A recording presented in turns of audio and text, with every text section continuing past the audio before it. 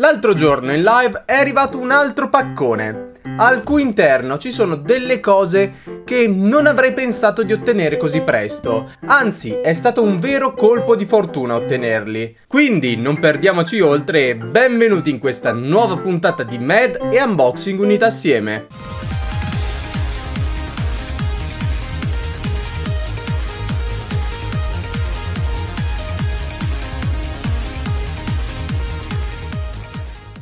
Il video probabilmente rientrerà nella categoria Mad, per ovvie ragioni. Però questo in realtà è un Mad unboxing, un unboxing folle. Ma a parte questo, ah hi people of YouTube!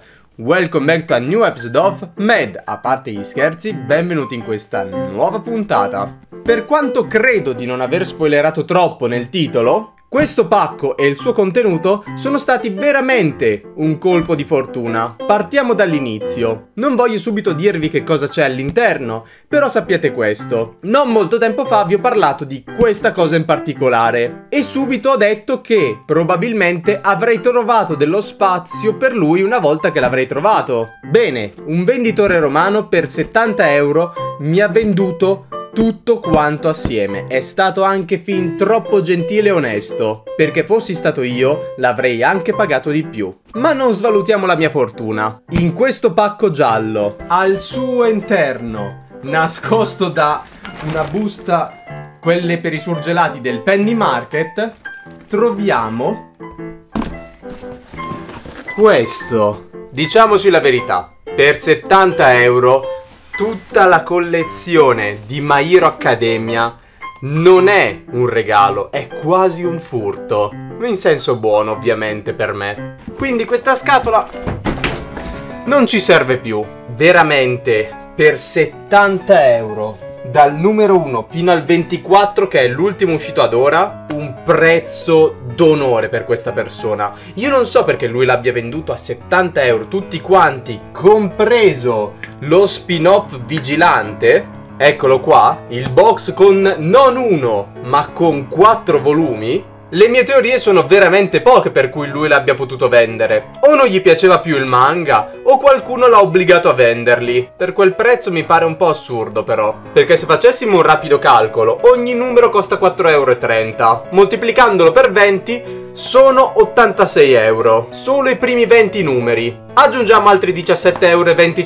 per gli ultimi 4 numeri, più 15 euro del box di vigilante, insomma, la somma è un po' alta. Ma ovviamente non sono io che devo discutere i prezzi dei venditori. Per me va oltre che bene questo, per me questo è un vero salvataggio. Perché sarò sincero, al momento sono al quarto volume e più vado avanti con la storia, più mi sta piacendo. Il che è quasi assurdo, perché per tutta la mia vita i supereroi o i superpoteri in generale non mi sono mai piaciuti così tanto da farmi dire mi appassiono a un supereroe in particolare. L'ho già detto e lo ripeto, Superman, Batman, tutto quello che gira attorno ai supereroi non mi ha mai appassionato. Li vedevo sempre troppo, nel senso erano sempre loro i migliori, erano sempre quelli, oh, soprattutto, Dio è sceso in terra ed ha preso la forma di un supereroe. E questa cosa invece non mi è mai piaciuta. Ma questi ragazzi invece che sono ancora acerbi, non sanno come usare bene il loro potere,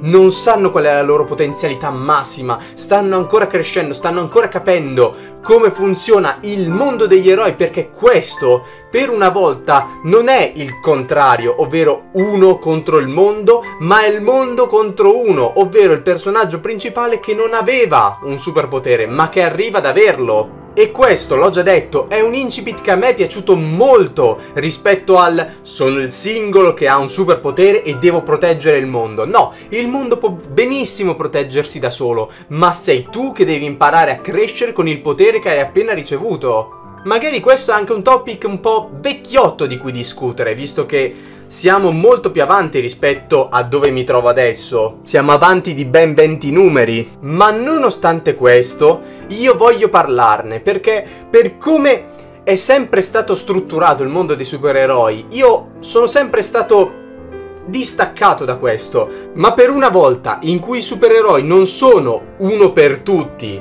ma tutti per uno, la storia per me può solo che migliorare. Io non penso che arriverò ad abbandonare un manga del genere quando fin dall'inizio, fin ancora prima di leggerlo e guardarlo, mi aveva già interessato.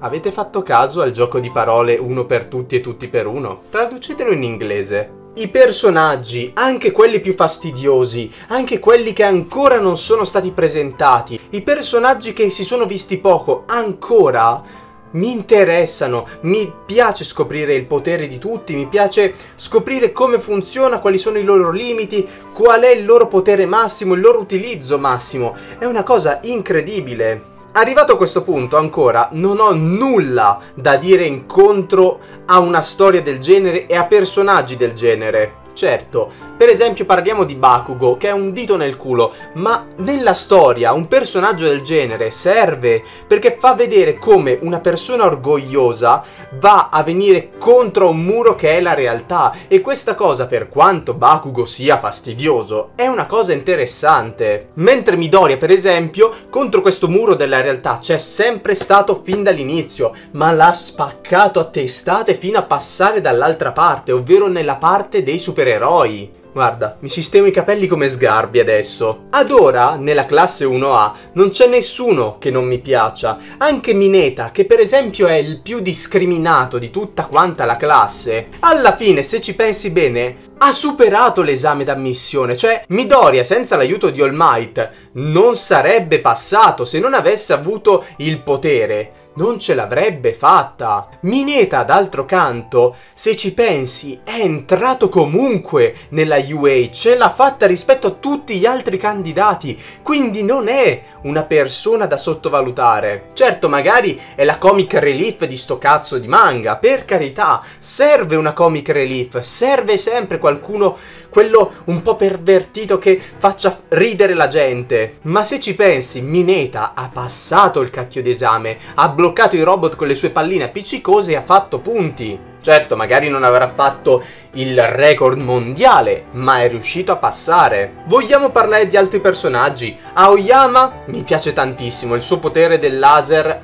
ci sta. Peccato che ad ora quello che ti fa capire è che non può usarlo per molto, visto che poi starebbe male. Minashido? Bellissimo personaggio, molto simpatico. Tokoyami, il potere di usare l'ombra? Fantastico! Vogliamo parlare dei professori? Aizawa, caratterizzato benissimo. Midnight, bello, mi piace che un personaggio adulto in un contesto di ragazzini sia così al di fuori del contesto. Mi piace. Altra cosa che mi sta piacendo molto del manga sono gli intermezzi tra un capitolo e l'altro, dove lo scrittore mette in retroscena i background di vari personaggi. Questa cosa ti fa capire molto, uno, l'impegno che c'è stato dietro nella creazione di tutti quanti, ma soprattutto ti fa capire che lui vuole comunicarti tutto il suo amore per ogni singolo personaggio. Mi piace, mi sta piacendo, non vedo l'ora di poter continuare a leggere e magari in un breve futuro poterne parlare ancora. Questo episodio di Mad, oltre a essere stato anche un simile unboxing, era per farvi capire che io ho sempre avuto un pregiudizio su una determinata categoria, ovvero quella dei supereroi. Certo, comunque i miei gusti rimangono tali, i supereroi non sono la mia categoria, per esempio, di film preferita, ma quando una storia è scritta bene, la cosa fa solo che piacere.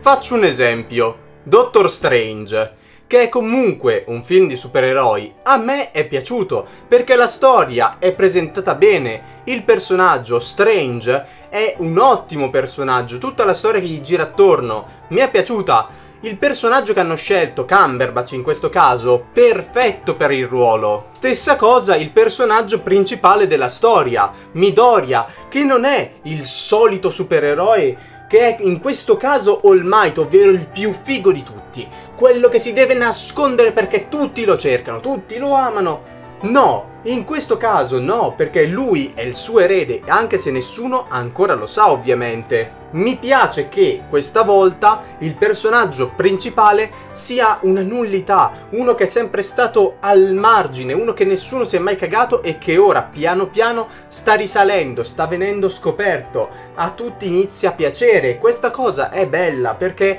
in questo caso il supereroe supremo, oh, sono il primo in classifica, è la spalla tra virgolette, la spalla ovviamente, del protagonista, è il suo maestro. Poi devo essere sincero, il manga, a differenza dell'anime, racchiude veramente tutto in pochissime pagine e una cosa che adoro dei manga è che mettono sempre quel qualcosa di più rispetto all'anime. Come in questo caso mettono delle scenette extra con i vari personaggi, i vari intermezzi. Per esempio questo, io ad esempio in questo intermezzo ho scoperto una cosa che adesso non vi voglio dire per ovviamente non rovinarvi la cosa, ma che effettivamente mi stavo chiedendo. Mi piace il fatto che lo scrittore abbia risposto a una domanda che io mi stavo ponendo. Quindi veramente ragazzi, non vedo l'ora di arrivare all'ultimo numero o probabilmente quando ci arriverò magari esce il 25, ma soprattutto sono curioso anche dello spin-off.